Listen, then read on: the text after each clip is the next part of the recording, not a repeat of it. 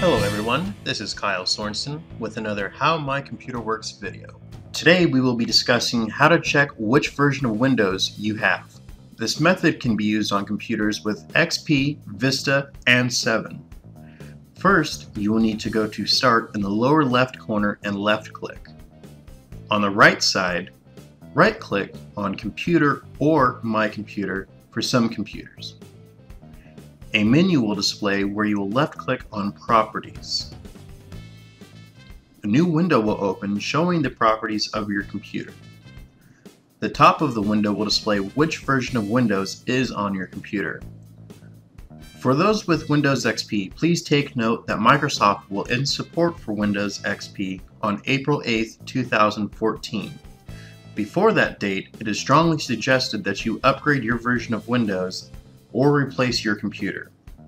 My Computer Works can help with the transition. Feel free to give us a call at 1 800 935 9611. Thank you for watching this video. Feel free to comment, give it a thumbs up, and most importantly subscribe to our channel if you haven't yet to view more upcoming videos. If you have any questions about this video or comments or training suggestions, feel free to send me an email to training at mycomputerworks.com. You can find us on Facebook and Twitter by clicking the links in the More Info section below this video. If you have more questions or would like to know more about our services, give us a call at 1 800 935 9611 or visit us online at mycomputerworks.com.